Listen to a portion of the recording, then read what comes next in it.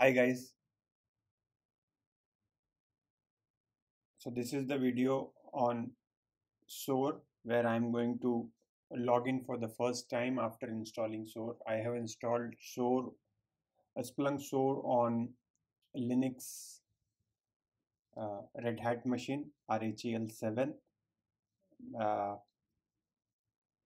so I'm going to log into this for the first time. So for that, uh, the default user will be uh, local admin and password is password. Make sure you change the password after logging in. So this is, this is default password. Hit login. So it will redirect you to Splunk portal. Now definitely it will ask for some terms and condition license. Then you need to review it. Uh, once you click over here it will you read read everything over here.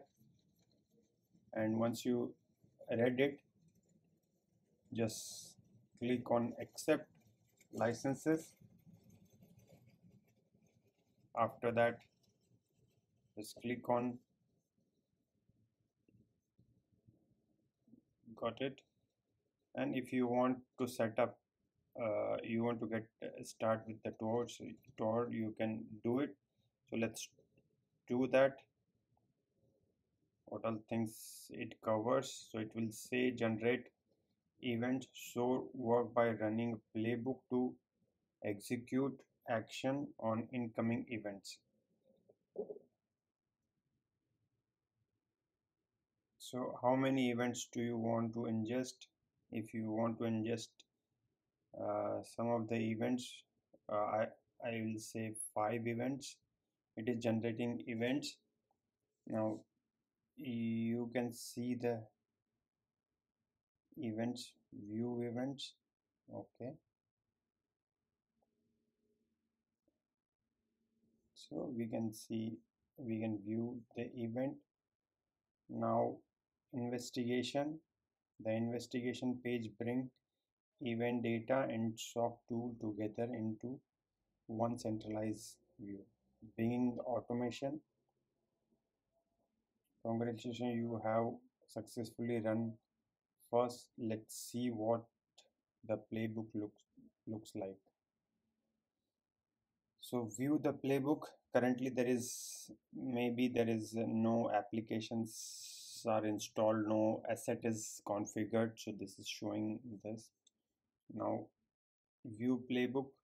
Once you click on playbook it will redirect to the playbook editor. Uh, there you can see what what playbook is there. So I will click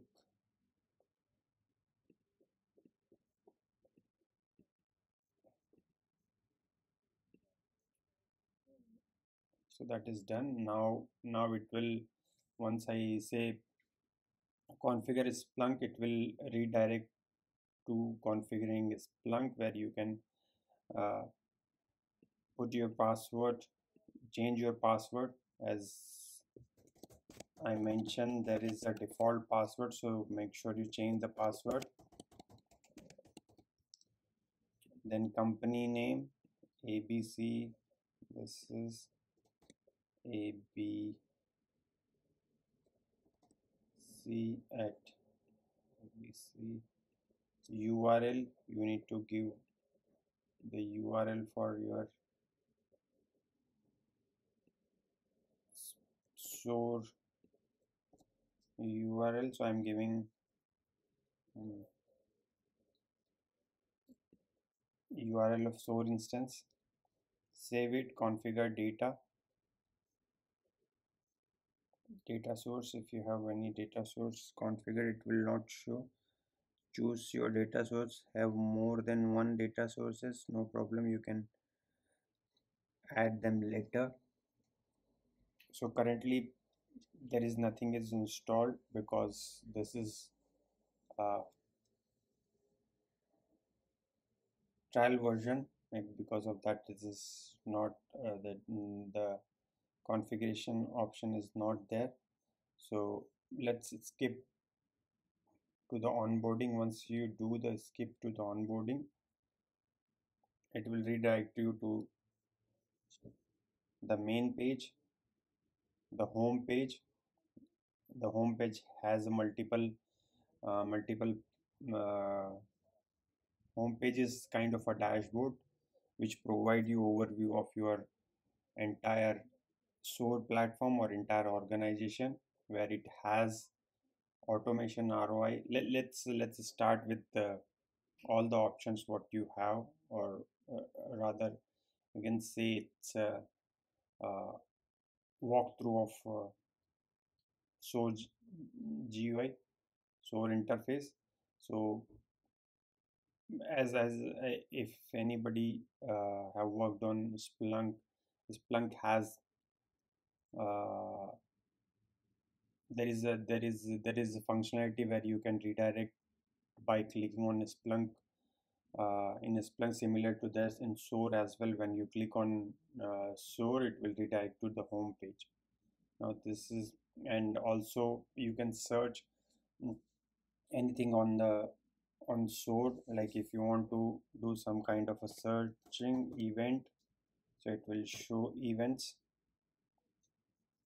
events uh, so it is a lightweight uh, search it installed on lightweight uh, search it installed on SOAR. Again I'll so that search engine uh, run the search and provide you the data provide you the result. The next next one is this is the name of uh, name of user version it will show version not the name of user this is instance name. If you want you can change the instance name. This is version what version is installed. Uh, these are the notification whatever notifications the user has. Notification general notification or mention notification. I need not to go in detail on, mention notification. Now this is uh, the user uh, user details um, uh, by which on on uh, by which you are uh, log into. SOAR now it has account configuration where you can change the name. You cannot change the name but you can provide email address first name last name uh, and so on. Notification change you can you can uh, have the notification uh, event or task assigned to me. So once the event or a task assigned to you it will get notified. Event SLA expires event SLA expired expiring soon expired event assigned to you.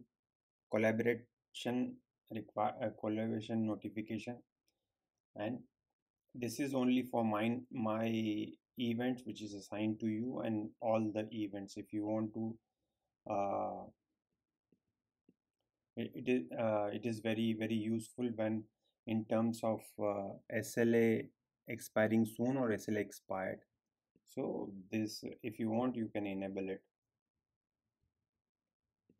Change the password. If you want to change the password you can change it make sure you change the password uh,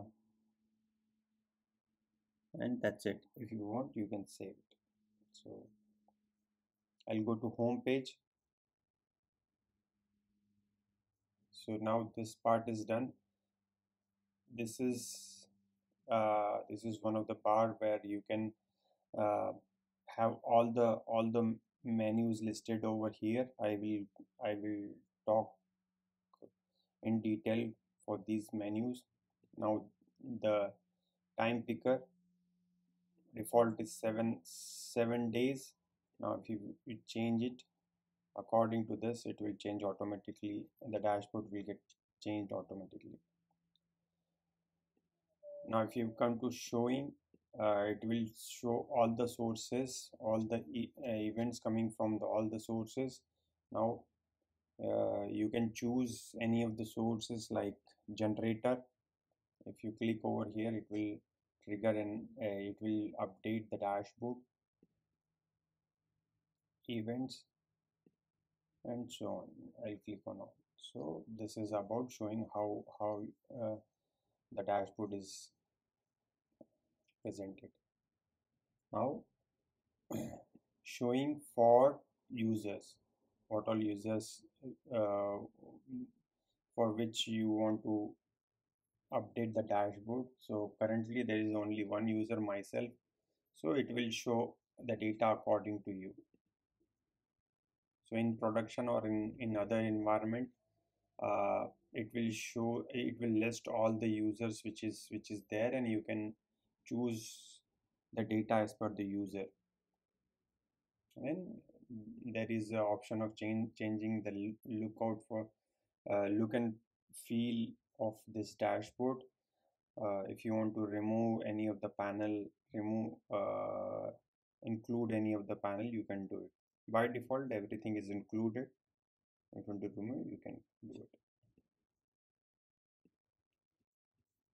Okay this is about the options which we have and uh, this is the dashboard where uh, in the first panel it shows the automation ROI summary ROI return of investment where it has uh, uh number of resolved event mean dwell time mean time to resolve FTE gain time saved and dollar this is very important for management people so it will again show in the next next dashboard what all open events are there. Workload is there currently. Uh, there is nothing is assigned to uh, to anyone. So it will uh, it will not show anything. Let, let me assign some event to myself. And it will not show here. It will show in generate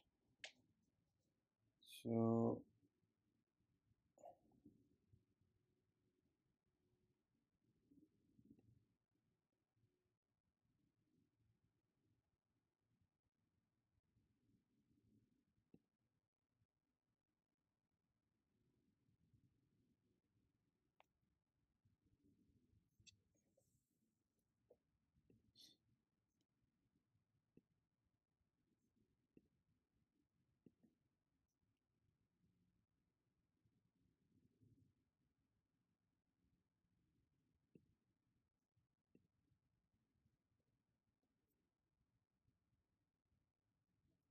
okay this is done. Now if I go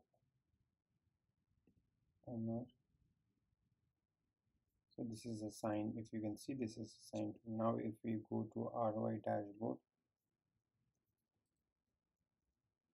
so workload say this user this particular user has one. So similarly in this workload it will show the details now this has also changed. As I, I as I uh, um, select my myself so it will show uh, the data related to me. Now I'll go back to all the events. So one is assigned and unresolved events it will show uh, events by status. So this is one high and medium. Yeah. so this this is showing all the all the open events. Now if you go down it will show total playbook and action.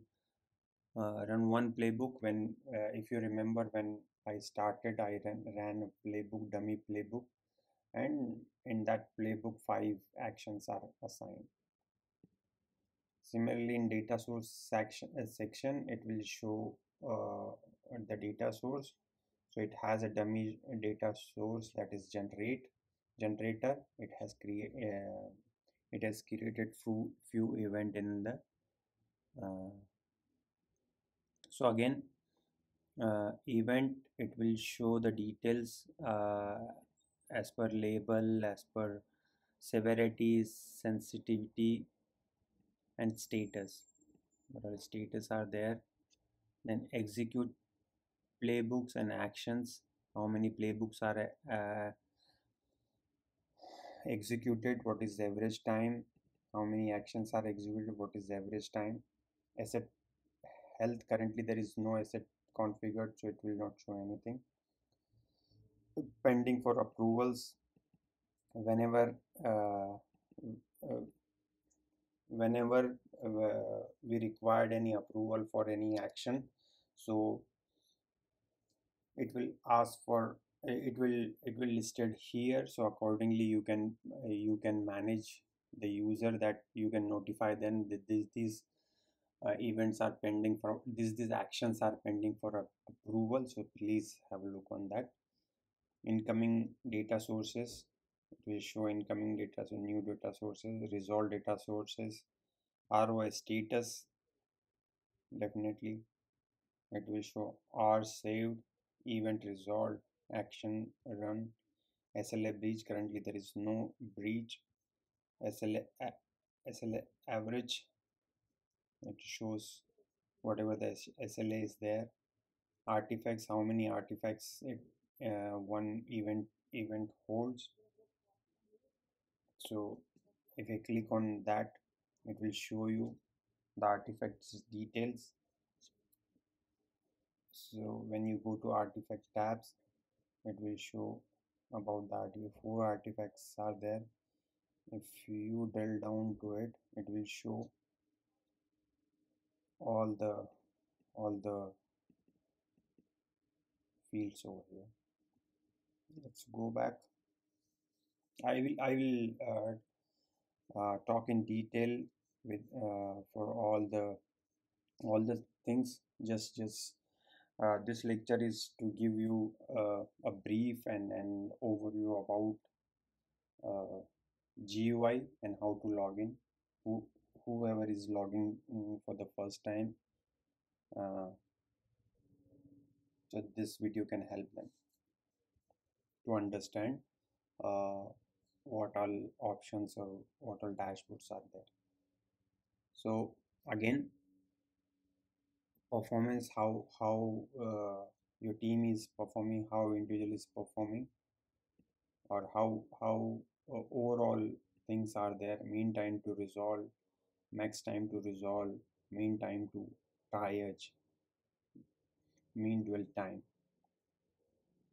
So also it has active and total playbooks total playbooks. It's by default i have not created any playbook this 130 uh, uh, 153 playbooks came by default and uh, currently there is zero playbooks are activated. So this is overview of above about ROI dashboard or or home home dashboard this is mainly used for the management purpose who want the uh, high level overview of their organization their events how it is flowing and everything. So this is this is very beneficial for uh, management purpose managers or executive level. That uh, that that will give you overall posture about uh, about the automation automation things. We'll talk in detail about these uh, all the options which we have. So i i guess this this uh, has given a brief about how uh, how uh, the dashboard look like what all options are uh, what all interface are there how to use the things and all so thanks a lot for watching the video. Have a good day